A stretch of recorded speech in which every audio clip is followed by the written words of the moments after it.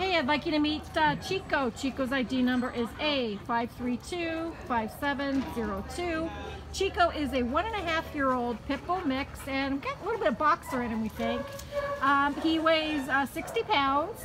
He has been at the shelter since October 8th, so he really needs to get out of here quick. So, Diane, what, what do you want to say about him? Um, he's, you know what, I have to say, this guy's fun. He's just Mr. Fun. Like, I walked up to his kennel and he was so excited to go for a walk, and I, and oh, we just had a flurry of pigeons, which he just loved. He's really interested. Yeah, so he just wants to play. He's really good-hearted. He's really kind um, to humans, not so much for the birds. Um, he's easy. And so he's just really, he's a good guy. He's he's a little exuberant right now because he was really um, feeling cooped up in his kennel.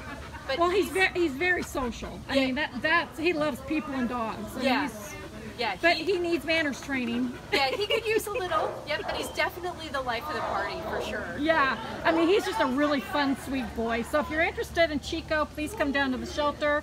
Uh, his ID number is A5325702. He's leaving now. Goodbye, Chico.